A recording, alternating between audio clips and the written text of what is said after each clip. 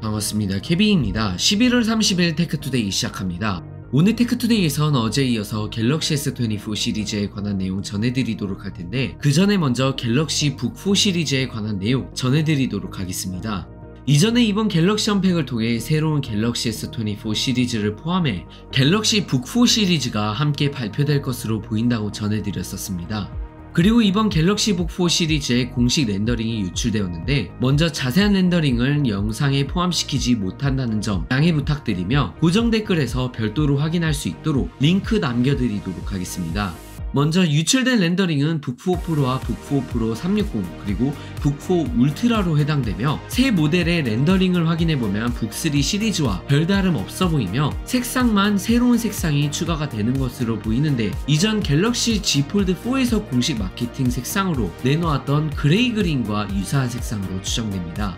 북4 프로 360은 여전히 S펜을 지원하고 키보드 레이아웃이나 포트 구성 부분은 전작과 거의 동일해 보이며 북4 시리즈 같은 경우 14세대의 인텔 CPU가 탑재되고 북4 울트라에는 RTX 4070 그래픽카드가 탑재되며 세 모델 모두 반사방지 코팅이 되어 출시되는 부분도 확인된 바 있습니다.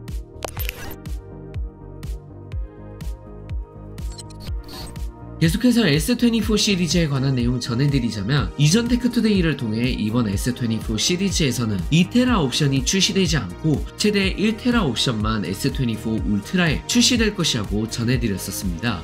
추가적으로 램 용량 부분에 대해서도 언급이 되었는데 IT 유출가 아이스유니버스에 의하면 이번 S24 기본형 모델은 스토리지 상관없이 8기가가 탑재되는 부분이 확정되었고 S24 플러스와 울트라 같은 경우 스토리지 옵션에 따라 8기가 또는 12기가 램이 탑재된다고 합니다.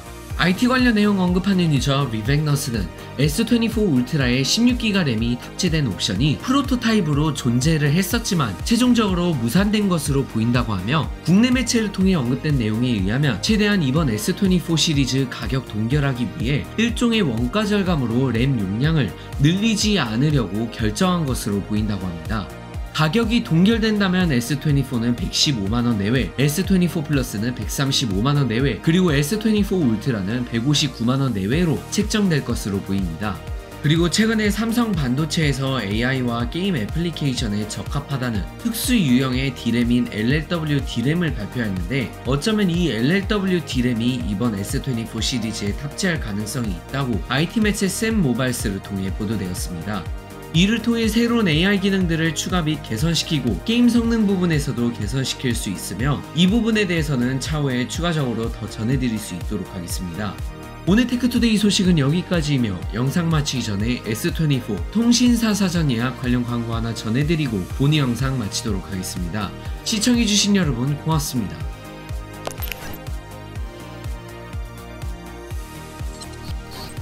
이번 1월에 발표될 갤럭시 S24 시리즈 통신사 사전 예약 광고는 아이폰 15에 이어서 폰의 달인과 함께합니다. 폰의 달인에서는 삼성 공시 사전 예약 사은품 외에도 폰의 달인만의 단독 기기값 할인 혜택 또는 최신 웨어러블 사은품을 증정받을 수 있습니다. 폰의 달인에서는 이번 갤럭시 S24 시리즈 통신사 단독 기기값 할인 혜택을 통해 기기 할인을 받을 수 있고 거기에 추가로 기본 통신사 선택 약정 25% 요금 할인도 받으실 수 있습니다. 단순히 사전 예약에 대한 알림 수신만 받도록 신청을 하는 하는 것으로 고정 댓글에 있는 링크를 클릭하여 사용하는 통신사를 선택한 후 알림 신청 버튼을 누르고 원하는 모델과 정보를 입력하면 알림을 받으실 수 있습니다. 차후에 사전 예약 시작 전에 가격이나 조건을 확인한 후 마음에 들지 않으면 배송 전까지 언제든지 취소가 가능하니 참고해 주시길 바라며 추가 할인을 받으려면 폰의 달인에서 통신사 사전 예약 가는 방법도 참고하시면 좋을 듯 합니다. 오늘 영상 여기서 마치겠습니다. 고맙습니다.